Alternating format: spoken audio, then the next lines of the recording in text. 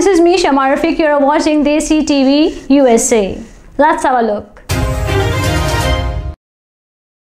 Climate emergency, the most extreme weather events of 2021. A wide range of natural disasters struck numerous parts of the world this year. From deadly floods and wildfires to the record-breaking rainfall and temperatures, countries including the United States, Greek, Indonesia and China among others have all been affected.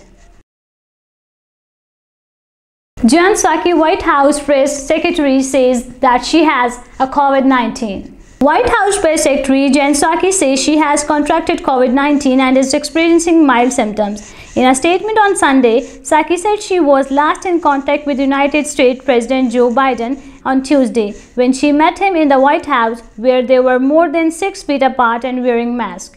Biden, who is tested frequently last, tested negative on Saturday according to the White House.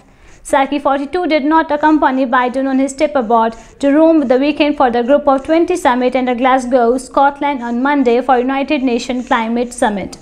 Psaki said she had planned to travel with the president but scrapped the trip just as he was got to depart of Europe after learning that members of her household had tested positive for COVID-19. Since then, I have quarantined tested negative for COVID on Wednesday, Thursday, Friday, and Saturday. Psaki said in the statement, however, today I tested positive for the COVID.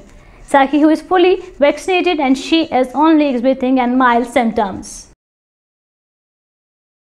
G20 says the climate threat urgently critical offers modest steps. Leaders of the world's biggest 20 economies have agreed to tackle the critical and urgent threat of climate change but angered activists by offering the new concrete commitments of a limit global warming. Wrapping up a summit in Rome, the leader of G20 pledged on Sunday to stop floating coal-fired power plants in poor countries, but set on timetable for the phasing it out at home.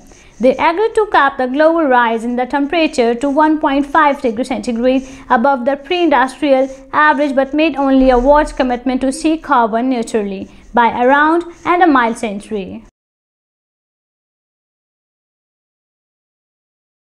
G20 leaders endorse global minimum tax on minimum businesses. Leaders of the world's 20 biggest economies have endorsed a global minimum tax of 15% on big multinational businesses.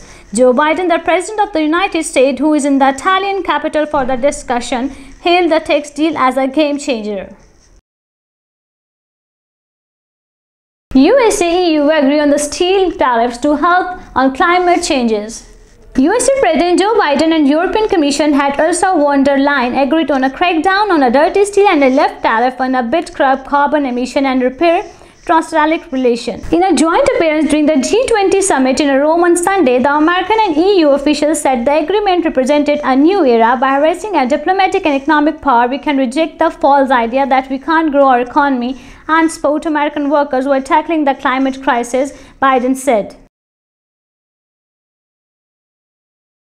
Pakistan reaches agreement with the banned TLP to end violent. Pakistan's government has reached an agreement with the law for a right Tehreek Labbaik Pakistan party putting an end to 10-day protests that resulted in violent clashes.